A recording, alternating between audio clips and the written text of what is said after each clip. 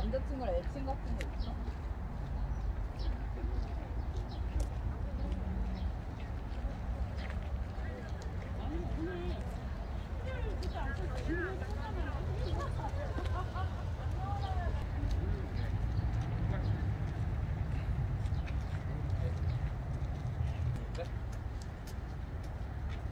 분명히 어떻게